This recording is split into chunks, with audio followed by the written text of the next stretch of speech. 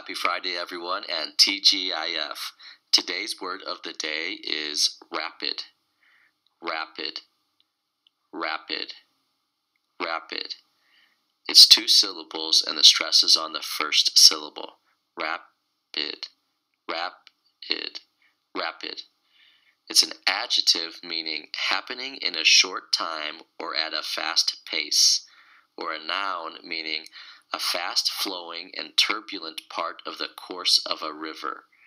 Sentences His rapid breathing was cause for some concern, so we convinced him to see the doctor. His rapid breathing was cause for some concern, so we convinced him to see the doctor. The rapids look too dangerous for rafting now. Let's catch up next month and see what it looks like then. The rapids look too dangerous for rafting now. Let's catch up next month and see what it looks like then.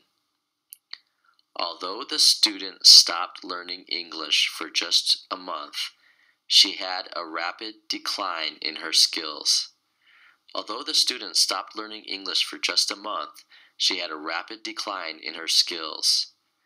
Speaking opportunity.